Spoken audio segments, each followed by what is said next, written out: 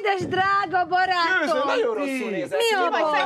Ezért nem kell italozni, látod? Mi a Kis baj? forró levest tegyél. Az a baj, hogy Hozé 46 évesen sosem ivott alkoholt, és belekóstolt egy vinerbe. De most azt nem mond nekem, hogy te nem iszol alkoholt. Akkor engem a jó Isten mozduljon magához.